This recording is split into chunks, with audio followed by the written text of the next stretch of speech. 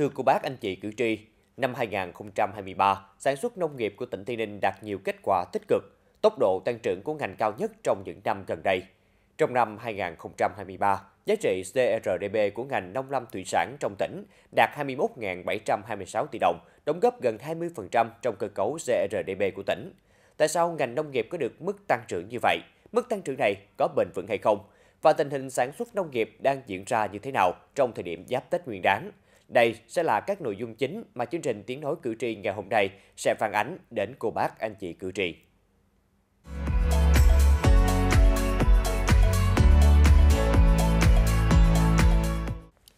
Năm 2023 là năm thành công của ngành sản xuất nông nghiệp của tỉnh. Tốc độ tăng trưởng của ngành cao nhất trong những năm gần đây đạt 3%, CRDB trong lĩnh vực nông nghiệp đạt 21.726 tỷ đồng, đóng góp 19,8% trong cơ cấu GRDP của tỉnh.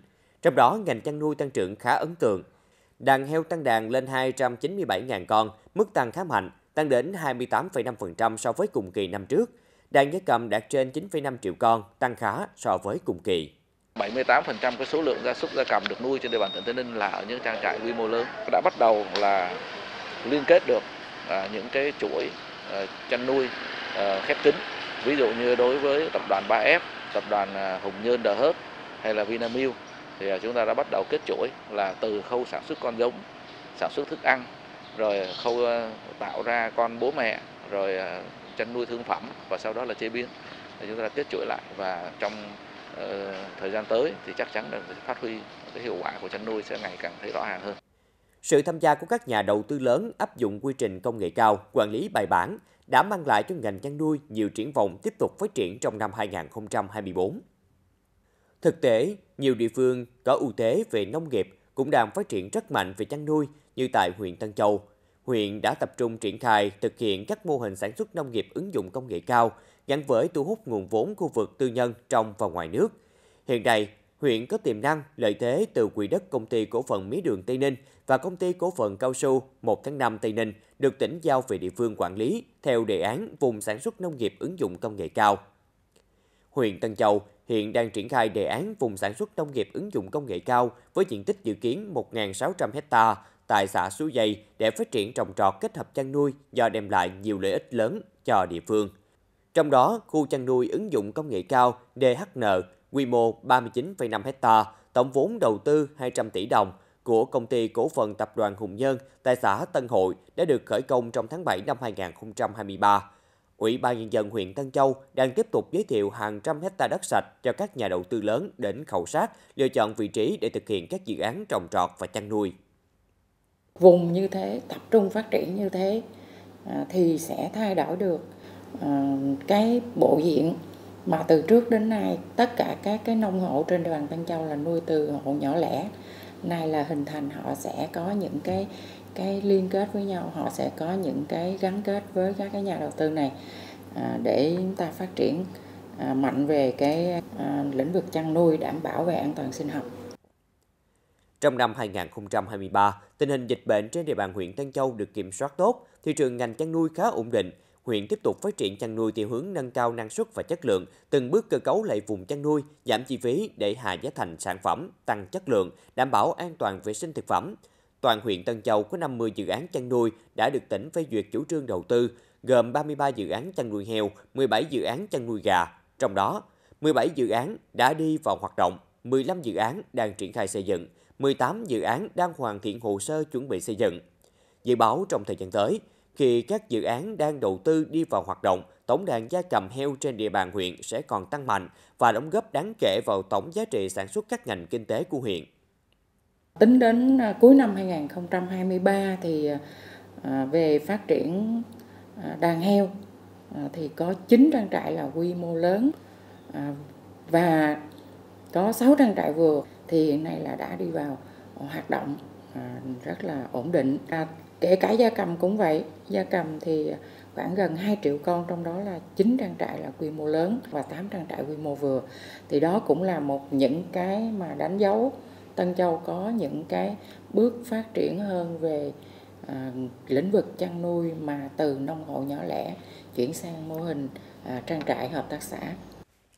Năm 2023, cũng là một năm vượt khó ngoạn mục của ngành chăn nuôi huyện Tân Biên. Tổng đàn gia súc và gia cầm trên địa bàn huyện Tân Biên đạt trên 3,65 triệu con. Trong đó, đàn gia cầm đạt trên 3,5 triệu, còn lại gần 88.000 con gia súc.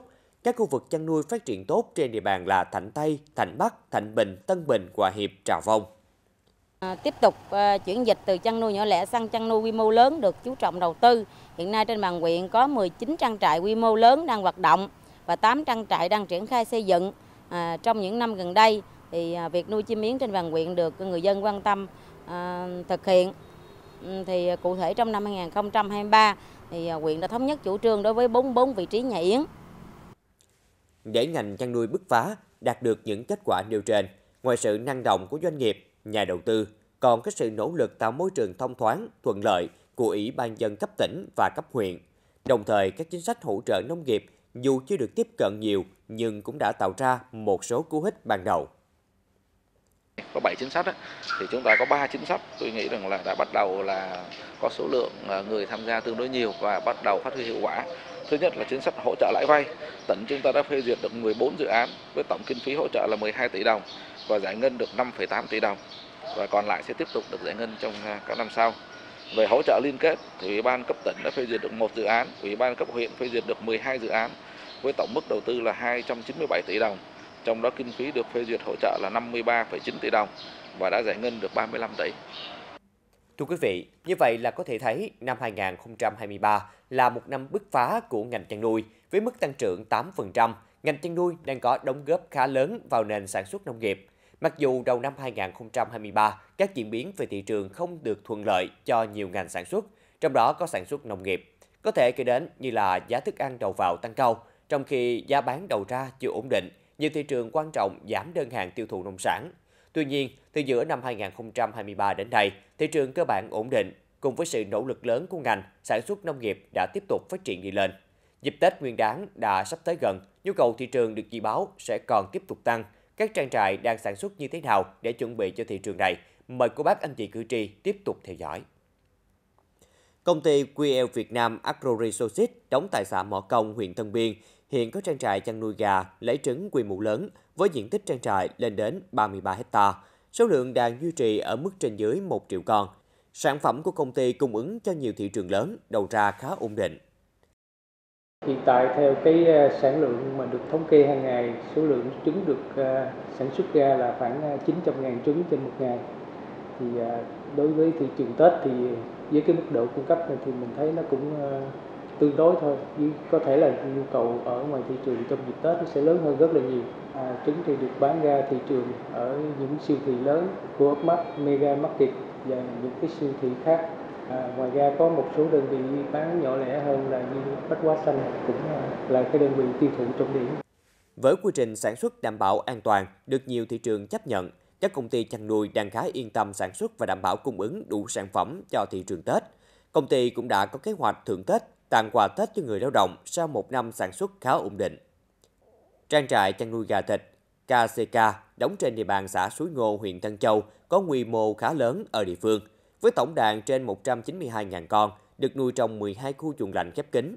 Mỗi lứa gà xuất chuồng được nuôi trong một chu kỳ từ 35 đến 45 ngày.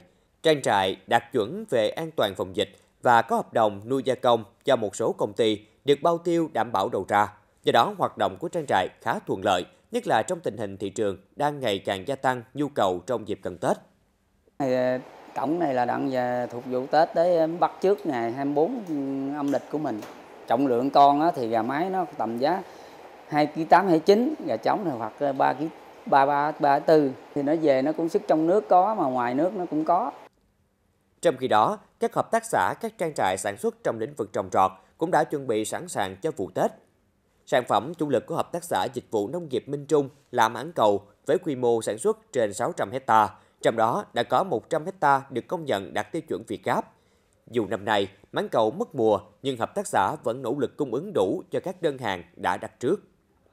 Dự kiến là sẽ tung ra 3 ngày Tết là 26, 27, 28 và khoảng à, 70 tấn. À, với cái sản lượng như trên thì hợp tác xã vẫn đảm bảo nguồn cung cho khách hàng trong dịp ờ, Tết Nguyên đán này. Với việc nông dân ờ, đồng ý sản xuất theo tiêu chuẩn Việt Gáp thì giá thành nâng lên khoảng 5 đến 10 ngàn so với giá thị trường. Sản phẩm của mình sẽ được ừ, nâng lên giá vượt trội. Mất mùa nhưng được giá, nên người nông dân trồng mãng cầu vẫn khá phấn khởi. Năm nay thị trường tiêu thụ mãng cầu dự báo cung không đủ cầu, người dân thu hoạch tới đâu hết tới đó. Ngoài ra, nhiều sản phẩm nông sản khác cũng vẫn duy trì được ưu thế. Lúa và bắp được mùa được giá. Năm nay cũng là năm nông dân trồng sầu riêng trong tỉnh cũng phấn khởi do giá ổn định, năng suất tăng. Thì năm nay chúng tôi dự báo rằng là vào dịp Tết Nguyên đán thì mỗi ngày cái lượng tiêu thụ nông sản sẽ tăng lên khoảng 20%, đặc biệt là cái dịp trước Tết. À, thì à, chủ yếu các mặt hàng sẽ được tiêu thụ mạnh là gồm có thịt heo, thịt gà, à, mà các cái loại à, trái cây, à, kể cả gạo ngon thì sẽ được ờ, tiêu thụ mạnh hơn. Và theo chúng tôi được biết thì hiện nay là các ờ, người sản xuất rồi người kinh doanh cũng đã chuẩn bị tinh thần và hàng hóa để đảm bảo là Tết năm nay chúng ta sẽ không thiếu bất cứ loại hàng hóa thực phẩm thiết yếu nào. Ngành sản xuất nông nghiệp sẽ có thêm nhiều thuận lợi về thị trường từ nay cho đến Tết Nguyên đán. Bên cạnh việc theo dõi sát sao các diễn biến của thị trường, hiện nay ngành chức năng và các địa phương cũng đang nỗ lực tăng cường kiểm soát dịch bệnh, đặc biệt là ở các khu vực giáp ranh tỉnh khác và khu vực giáp biên giới nước bạn, để người dân yên tâm đón Tết tăng cường công tác quản lý chất lượng, đảm bảo an toàn vệ sinh thực phẩm các mặt hàng nông lâm thủy sản.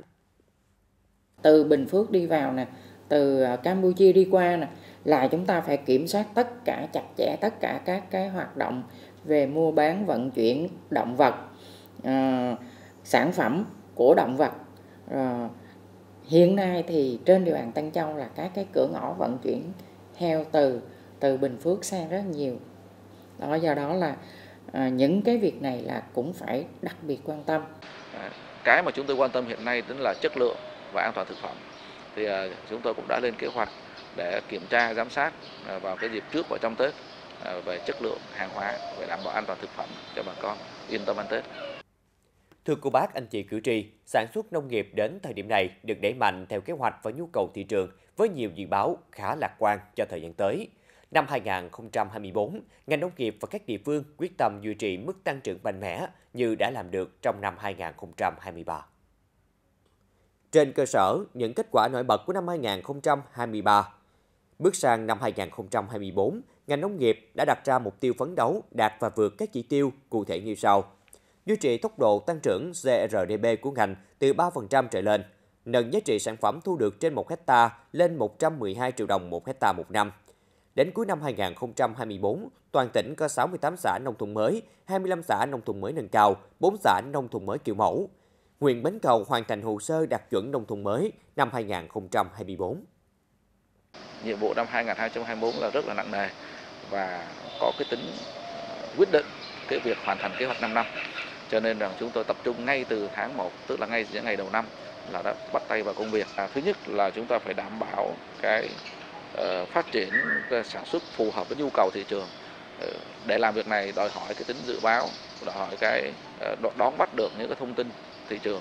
Thứ hai nữa là phải đảm bảo được cái nhu cầu vật tư tối thiểu cho người dân phân bón thuốc trừ sâu các loại thuốc thú y thức ăn gia súc vân vân. Với cái mức độ là phải nói rằng là phải chất lượng phải đảm bảo ngành nông nghiệp cũng sẽ tăng cường kêu gọi đầu tư không chỉ có lĩnh vực trồng trọt và chăn nuôi mà mở rộng hơn nữa là chế biến nhằm phục vụ sản xuất nông nghiệp phát triển bền vững. Các địa phương tiếp tục tạo cơ chế tốt nhất để thu hút đầu tư vào lĩnh vực nông nghiệp, để mạnh ứng dụng công nghệ cao vào quản lý sản xuất, đồng thời thực hiện tốt chương trình ô cốp, nâng cao niềm tin của người tiêu dùng vào các sản phẩm của địa phương. Tạo cái môi trường thân thiện để cho các nhà đầu tư doanh nghiệp đến với địa phương. Giới thiệu về hạ tầng nè, về đường xá thuận lợi, vị trí như vậy nó có phù hợp hay không, về thổ nhưỡng, về về đất và nước. Cái thứ hai nữa là tập trung về công tác tuyên truyền để cho người dân hiểu ra một cái vấn đề phải hướng vào một cái tập trung sản xuất như thế nào đó, làm như thế nào đó để chúng ta có những cái trang trại hợp tác xã quy mô lớn, quy mô vừa tránh những trường hợp nhỏ lẻ và manh mún thực hiện tốt chương trình ô cốp à, nâng tầm à, tạo thương hiệu các sản phẩm nông nghiệp của huyện đẩy mạnh à, xúc tiến thương mại kết nối mở rộng thị trường tiêu thụ xuất khẩu nông sản là triển khai à, đề án à, vùng sản xuất nông nghiệp ứng dụng à, công nghệ cao để thực hiện tái cơ cấu nền kinh tế, nâng cao năng suất, chất lượng, hiệu quả và sức cạnh tranh của nền kinh tế.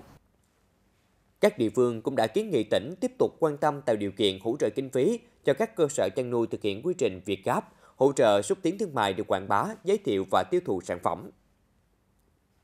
Thưa quý vị, Nghị quyết Đại hội Đảng bộ tỉnh Tây Ninh nhiệm kỳ 2020-2025 cũng đã đề ra mục tiêu ngành nông nghiệp tăng trưởng từ 2,5 cho đến 3% trong giai đoạn này.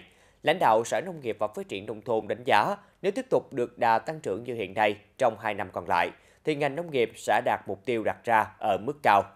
Hy vọng rằng với tinh thần vượt có, năng động cùng với các giải pháp cụ thể, doanh nghiệp, người nông dân, các địa phương và ngành nông nghiệp sẽ đạt được các mục tiêu đặt ra trong năm 2024 và trong cả giai đoạn 2020-2025.